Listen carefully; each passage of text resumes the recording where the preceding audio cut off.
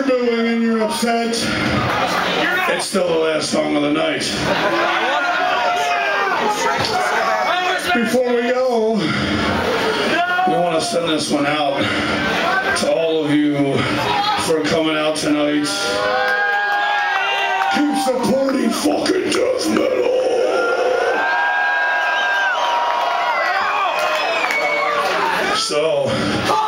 Said, I've been asking for pits all night long. I'm tired and I'm not gonna do it except this last time.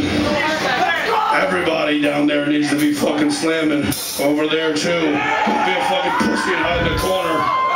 I want to see our t-shirt guy, or I want him to see you slamming on the other side there.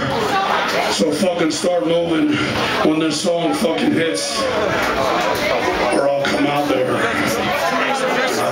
Kill you.